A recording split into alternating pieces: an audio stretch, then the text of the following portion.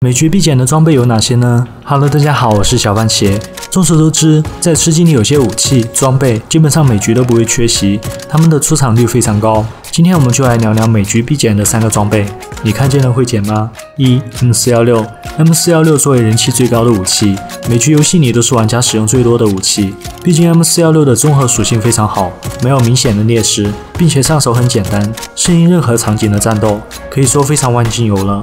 不过它并不是不可缺少的装备。二三级防具，二级防具只能减少百分之四十的伤害，在前中期还能应对作战，可是，在决赛圈就陷入劣势了。毕竟三级防具的减免效果是百分之五十五，如果在决赛圈里没有三级防具，那对枪胜率都会拉低很多。